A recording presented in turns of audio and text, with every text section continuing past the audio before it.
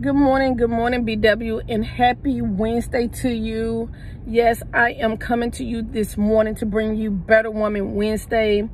And this morning, I want to share something quickly with you. We were in Huntsville, Alabama, and I had the blessing and the honor and the opportunity to hear Pastor Snell again with the sermon. And something he said I wanted to share with you ladies quickly for Better Woman Wednesday today. And of course, you know, I always have to Feliciarize anything that I hear. Uh, but he made such valid points when he told this short story. And I'm to share this short story with you ladies. And so he started off his his sermon with a story about how every Thursday, if you were to come by his home, you would find him playing Uno with his three children. And he said in the story that he always know that he's going to win. Not because he's the oldest, not because he's the wisest, because of how his children play the game of Uno, right? Man, he broke this down. It's so powerful. And I just feel like that I'm chopping it up and I'm going to share it with you anyway. So he said, uh, so he talked about his youngest son. He said, I already know I'm going to defeat him. He said, because even though he's given an awesome hand to play with, he can have all of the draw fours, but because he really don't understand the game, he really don't understand he has a good hand, he don't know how to play the hand that has been dealt to him. He said with his daughter, he already know that she's going to be defeated because even though she may have a good hand, she never pays attention to what's in her hand because she's so busy trying to look to see what's in the other player's hand. And then he said for his next son, not the youngest boy, but the oldest boy, he said he already know that he's going to be defeated. But because he may not have a good hand, but no matter what type of hand he have, whether good or bad, he's always going to complain about his hand. Even if it's good, it's not good enough for his son. And so when he started off saying this story, of course, they're doing a marriage series down in Huntsville at Oakwood Church and so his was more tailored to marriage. But of course, you know, when I heard that, I was thinking about the better women and the better wives that's in this group. And I'm like, wow, this is so applicable to the better woman, better wife circle. Not everybody in the group, but over 50% of us. We operate the same way that his children do, do in the game of Uno. We operate like that in the game of life. You know, like just with his youngest son, even though he's been dealt a good hand, he doesn't know how to play it. And for some of us women, we have a good hand. We got good spouses, we got good bank accounts, we got good degrees. But even with all of that, we don't understand what we have. So we don't know how to play this game because we don't understand the beauty and the blessings that we have right at our fingertips. And then like with his daughter, he talked about she can't even play her hand because she's so busy looking at everybody else's hand. Don't we do that as women? We so busy looking at how they hair look, what they got on, what kind of shoes they wearing, what kind of car they drive, what's the square footage of their home. And we're so busy comparing our lives to those of our colleagues, our friends, our family, even Facebook people that we don't even know. We trying to compare what they have to what we have. But what we have to realize is whatever we have, that's what God has for us. Everything we have is what God has for us. And so when he talked about his son, the one who no matter what hand he get, he's complaining. Whether good or bad, he's complaining. Don't we find ourselves the same way?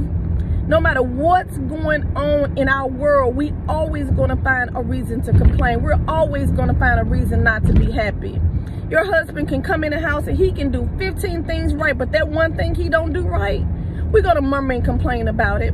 We can go on a job, they can be paying you good, good work environment, the one day that something go wrong, instead of us remembering all of the blessings, we want to complain about our job when there are people still in 2022 in the United States in food lines, don't have food to eat, don't have a shelter over their head. Some people wish they had a spouse. Uh, some people wish they had children. There, there are women who can't even bear children, but yet we complain about the children that God gave us as gifts. You read the Bible, children are a gift from the Lord. And so, but we found ourselves complaining. We have a good hand, but still, even in the midst of the goodness, we still find a reason to mumble and complain. May God have mercy on us. And so as he told that story, I'm like, man, how it, that's the same way we operate in life.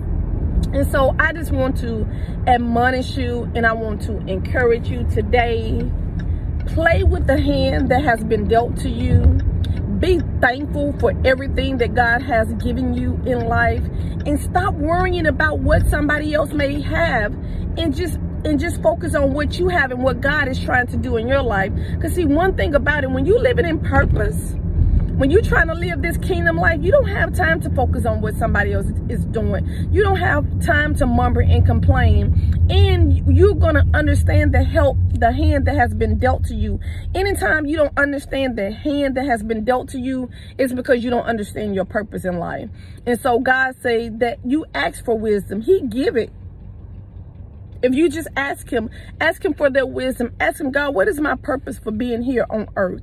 You know, uh, ask him to lead, guide, and direct you. Ask him to give you a vision, you know, of what he would have for you.